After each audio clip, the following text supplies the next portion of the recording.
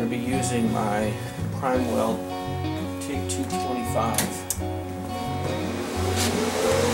Got it set up in MMA, stick mode, DC, 125 amps. We're going to be using some 1 8 inch 7018 that I bought at Menards.